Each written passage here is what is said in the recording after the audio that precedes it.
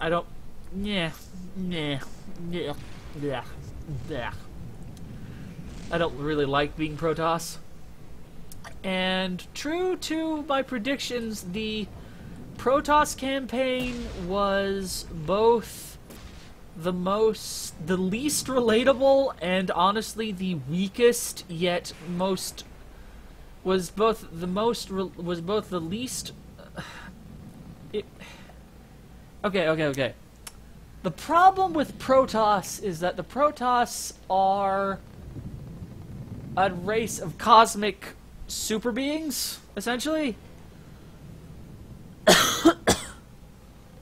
are, are basically cosmic super beings. They're literally made of psionic potential merged with flesh. And they can tap into the void or whatever the fuck it is when they're cut away from their psychic matrix or whatever the fuck it is.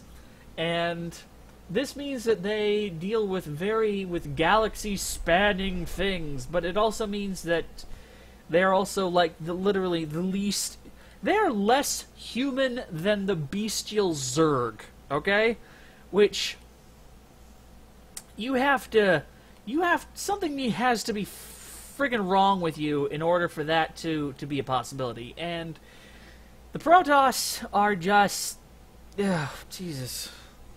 Protoss Protoss just li literally literally the Protoss the, the the ending of the friggin' Protoss campaign for spoilers uh, for for friggin' spoilers, people, I'm gonna warn you. Friggin' spoilers ahead. The ending of the Protoss campaign, you make you you make a new star god.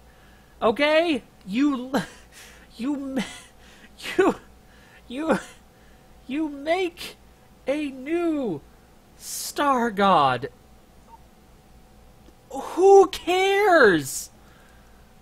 You kill Space Satan by making a new star god because star because space satan killed the star god the old star god so you need to make a new star god from the surviving star god's essence or soul or whatever while space hell slowly encroaches and consumes space heaven and who who honestly gives a fuck